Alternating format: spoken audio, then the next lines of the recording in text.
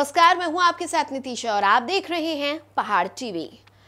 Police line Dehradun में SSP ने police अधिकारियों और कर्मचारियों की मासिक अपराध समीक्षा बैठक ली। इस दौरान उत्कृष्ट कार्य करने वाले कर्मियों को सम्मानित किया गया।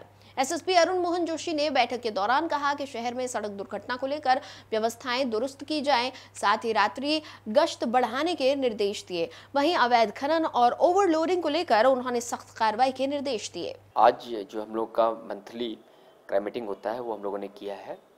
इसमें जो पेंडिंग इन्वेस्टिगेशन है, जो वारंट है समन है, इनके बारे में चर्चा की गई है।